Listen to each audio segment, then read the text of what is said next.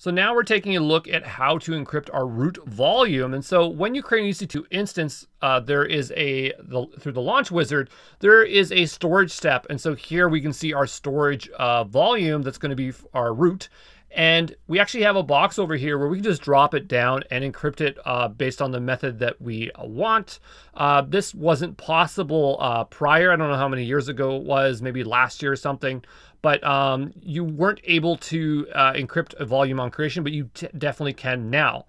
Now, what happens if we have a uh, volume um, that we created that was unencrypted and now we want to uh, apply encryption to it? Well, we're going to have to go through a, a, little bit more effort here, and here are the steps below. So the first thing we're going to do is take a snapshot of that unencrypted volume.